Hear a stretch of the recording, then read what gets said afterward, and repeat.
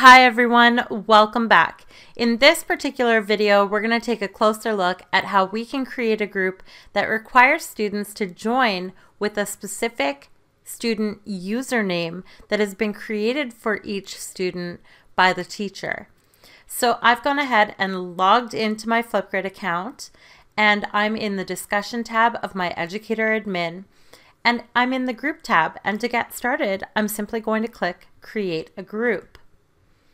Now, the first thing I want to do is make sure that this group is set to private because I want it to be a private group for my students and I to participate in.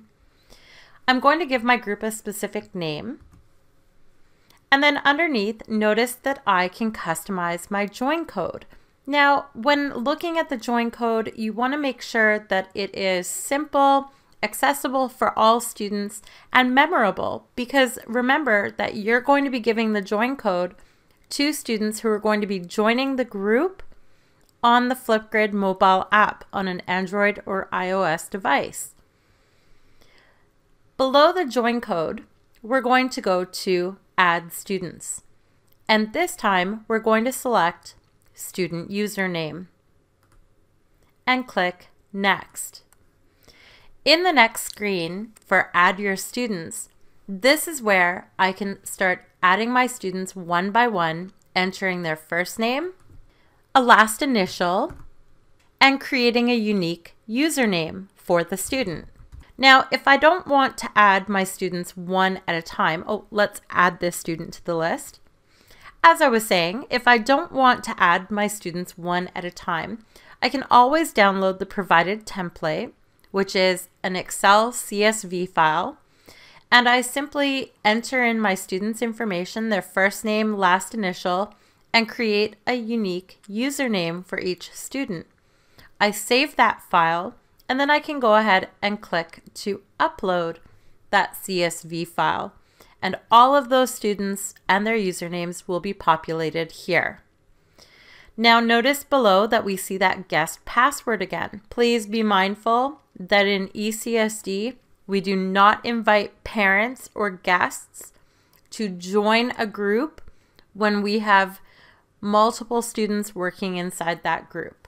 So we're going to leave this turned off. For more information about providing guest access and when it's appropriate, please check out the guest access section on the Emtech Flipgrid Resource Center website. I'm going to go ahead once I've entered all of my students and click next. Notice that I have that ability like I did in the previous group to duplicate topics.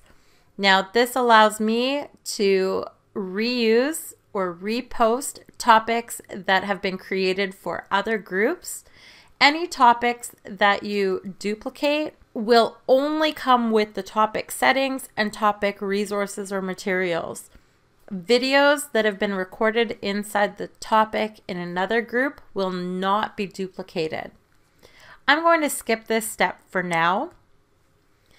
And at this point in time, I can decide whether I want to share this group, but I don't have any topics created. So in this case, we're going to cancel.